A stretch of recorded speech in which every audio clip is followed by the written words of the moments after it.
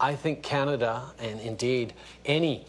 uh, modern society, uh, does best when we understand that diversity is a source of strength, not a source of weakness,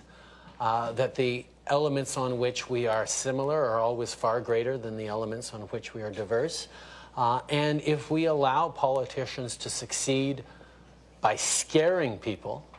we don't actually end up any safer. Fear doesn't make us safer, it makes us weaker. And at this time, when there is reason to be concerned for security around the world and here at home,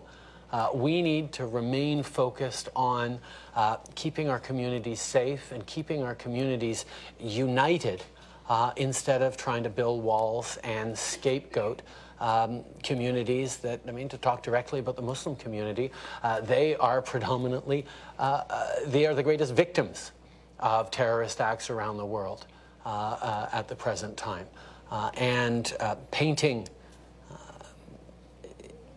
ISIS and others um, with a broad brush that extends to all Muslims is not just ignorant, it's irresponsible.